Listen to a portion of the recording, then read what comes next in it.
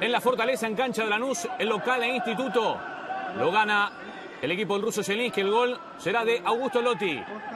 Acosta, Cáceres, Pérez, Maxi González, Luciati, Aguirre, Carrera, Neri, Domínguez, Watson, Lotti y Torres, Jonathan Torres, los 11 de Lanús. Instituto con Manu Rofo, Franco, Requena, Alarcón, Lucas Rodríguez, Bochi Lodico.